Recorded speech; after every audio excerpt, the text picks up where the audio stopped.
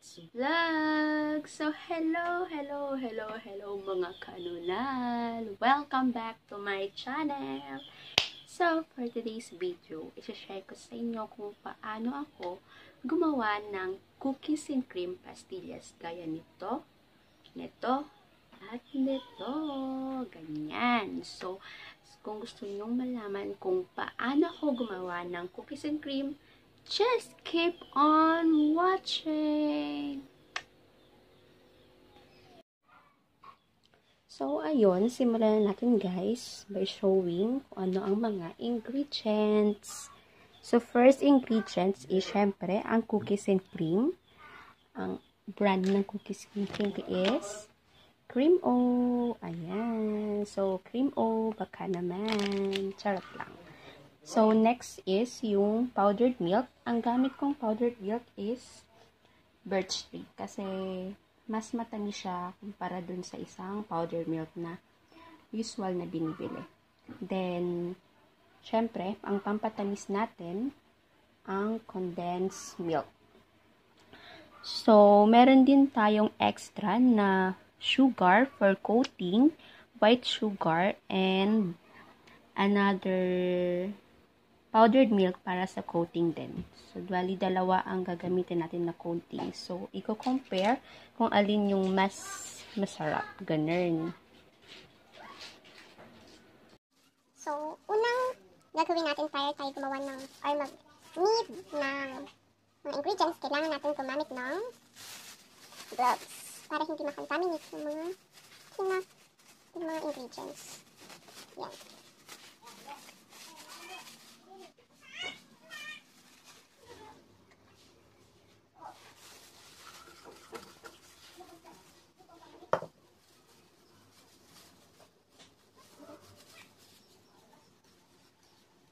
Pangalawa, condensed milk. So, yung powdered milk is 1 cup and yung condensed is 1 half cup.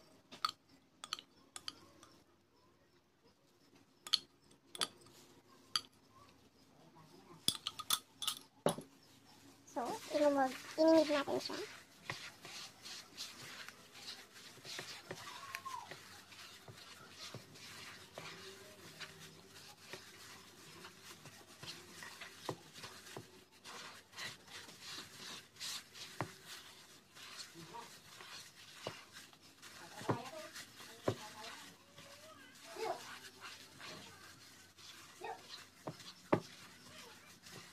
Ayan, na siya.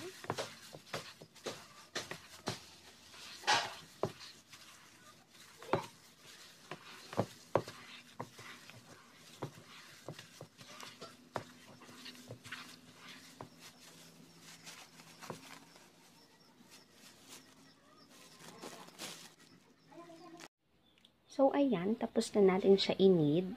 Napaghalo na natin ng maigi yung um, cookies, ay yung condensed and yung powder milk. I-add na natin yung cookies and cream. So, as you can see, English. as you can see, yung cookies and cream ko medyo may mga malalaki pa siya kasi gusto ko crunchy. Gusto ko yung may nababite pa ako. Kaya ganyan siya.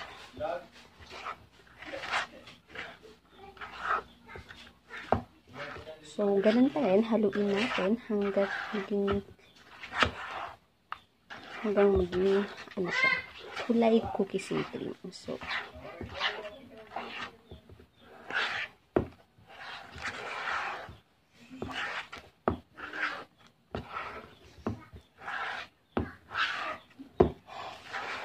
Una,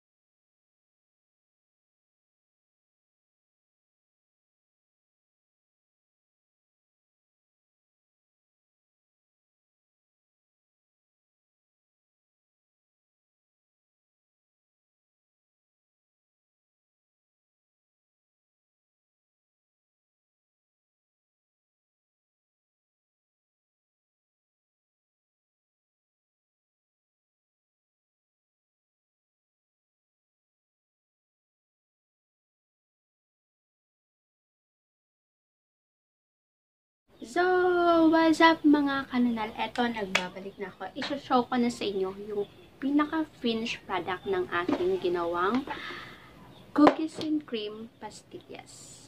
Or pastillas cookies and cream flavor. Ganun. So, eto na siya. Ito yung cute size. Yan, cute size. And eto naman yung medium size. So, titikman ko siya, then isasabihin ko sa inyo kung ano yung lasa niya. So, both naman ito masarap. So, yung level na lang ng sugar and cream yung sasabihin ko. Alright. Ganon. Basta ganon. So, first yung coating, ay coated. Ba yan? Coated ng powder milk. So, same pa rin naman yung powder milk na ginamit ko, Birch Street. Ayan, ang dami ko ng commercial ng Street. Baka naman. So, eto, kukuha ako.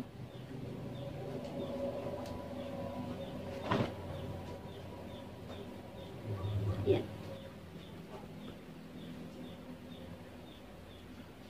Mmm. Masarap niya guys. Hindi siya ganun katamis. Pero yung creamy, napaka-creamy niya. Para akong kumakain ng cream cheese. Ganun. Ganun yung lasa niya. Para siyang cream cheese. Na may pagka-crunchy dahil dun sa cookies cream na hindi masyado siyang powder. Sarap. Mas nakaka-umay kasi hindi siya ganun siya tamis. Sakto lang. Na-overpower siya ng milk. Kaya, sarap. Try niya na guys. Ayun, mamaya ko na siya tapusin. Sarap.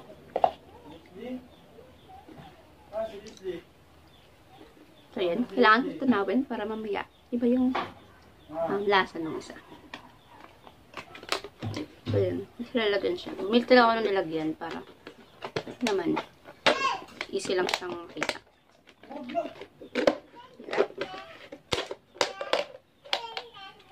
Parang ASMR.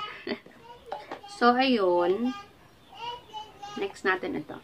Yung cookies and cream pastillas coated with sugar. White sugar. So, ayan. Ito maliit lang. Um, mabilis na ubos.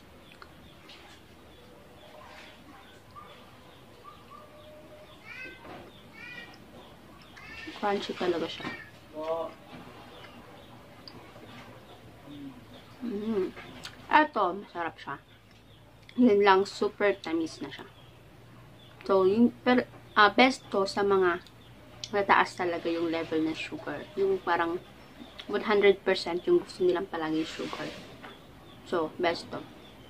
May pagka-creamy din siya, pero overpower siya ng sweetness. Masyado siyang sweet. Mm. Rap. Rap. Pero hindi siya nakakaumay. Kahit super sweet siya. Kasi nag-aagaw yung sweetness and creamy niya. Rap. Mm. So, ayun guys. Ang sarap ng ginawa ko. Siyempre, ako lang kumain. So, try nyo din to guys. Sa inyo. Habang ito, naka-lockdown pa tayo. May mga type pa tayo magluto. So, gawin nyo din siya. So, if you like this video, don't forget guys to like, share, subscribe, and click the notification bell below to keep you notified whenever I uploaded a video.